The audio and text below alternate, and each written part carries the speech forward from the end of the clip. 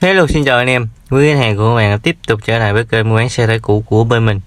Ngày mới kính chúc anh em, quý khách hàng của các bạn nhờ sức khỏe và luôn có nhiều thành công trong công việc cũng như cuộc sống. Một ngày tràn đường và tràn ngập tiếng cười. Ngày hôm nay tiếp tục lên cho anh em một mẫu xe tải với thương hiệu em nói là Hyundai. À, tải trọng cho phép chở hóa là 6 tấn rưỡi là 2017, niên hạn sử dụng là ngày 142. Một chiếc xe tải phiên bản thùng mua bạc với ghế bọc da ba chỗ ngồi sang trọng kính chỉnh điện khóa cửa trung tâm mua lăng chờ được nhẹ nhàng. Máy lạnh đầy đủ hộp số 5 số tiếng một số lùi. Thùng mưa bạc dày 4 m 980 chiều ngang là 2 m 050 chiều cao là 1 m 850 nha anh em. Là 2017 niên hạn sử dụng đến 2042 xe đi được khoảng hơn một xe đi được khoảng 60 mấy ngàn thôi. Nói chung là xe rất là đẹp rất là cọp luôn em. Đó, nội thất rất là xịn luôn với bột ừ, da rất là sang trọng rất là đẹp nói chung là zin toàn bộ em từ cabin động cơ, sắc nói chung là mọi thứ đều zin và đẹp hết. Nhớ nhân viên tâm cái mẫu xe này cứ đến đây xem xe, trải nghiệm mới thử. Với mức giá ra đi, em HD99 Hyundai HD99 6 tháng rưỡi. Thùng nhà 4m9 580 là 5m đó em. Với mức giá ra đi, em nó là 500 triệu nha. Đường kính mâm là 16 inch, nhỏ 7.5 cầu rất là lớn, sắc xi cũng rất là dày và cứng cáp luôn. Thùng mỏng rất là cứng, thùng mưa bạc hùng mua bạc tiêu chuẩn nha anh em. Nhân kiểu còn dài tới 6 năm 2024 vỏ lớp gai còn rất là cao.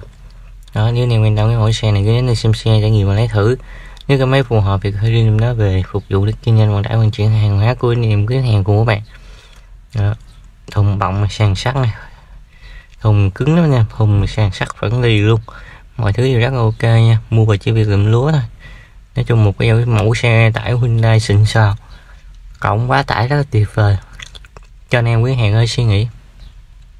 Mọi thứ đều rất là ok đó anh em. Đó, Hyundai HD99 6 năm rưỡi đời 2017 nhưng hàng sử dụng đến 142 dàn sắt thì dàn chân thì rất là đã luôn. Đó. Vỏ lớp gai rất là cao ngút luôn nha em. Xi thì bao dày bao cứng. Mọi thứ đều rất là xịn sò luôn.